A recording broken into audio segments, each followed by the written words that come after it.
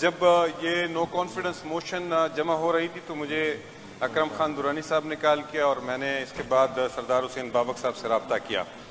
और इन्होंने मुझे कहा कि चूँकि इसम्बली की डिजोल्यूशन का ख़तरा है तो हम इसको रुकवाने के लिए नो कॉन्फिडेंस मोशन पेश करना चाहते हैं। मैंने इनसे कहा कि मेरी पार्टी का तो एक मरकज़ी तौर पर एक मौक़ मौजूद है और वो मरकज़ के अंदर नो कॉन्फिडेंस मोशन का हिस्सा नहीं है। तो let me consult my party leadership के, वो क्या कहते हैं? इन्होंने कहा कि हम तो इस मकसद के लिए जमा कर रहे हैं। आपके असम्बली के एडिशनल स्पीकर एडिशनल सेक्रेटरी बैठे हैं, फिर मैंने इनसे फ़ोन पे बात की कि जो अदम अतमाद है, उसके पेश करने के लिए कितने लोगों की ज़रूरत है? तो उसने मुझे कहा कि वो तो दो तीन लोग भी जमा कर सकते हैं। जब आपका इजलास रिक्विजिशन हो तो दो तीन लोग भी जमा कर सकते हैं। लेकिन जब वो पेश हो तो पेश होने के बाद एडमिशन के लिए ट्वेंटी परसेंट लोगों की ज़रूरत है।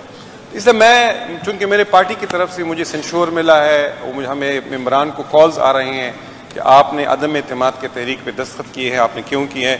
ज़ाहिर फ्लोर ऑफ़ द हाउस पे ये मेरी रिस्पॉन्सिबिलिटी है कि मैं पार्टी की तरफ़ से ये वजाहत करूँ कि अच्छी बात यह है कि दस्तखत तो जो इनको, जो रिक्विजिशन हुआ था रिक्विजिशन हुआ था, उस रिक्विजिशन के कागज़ जो है वो जमा हो गई है।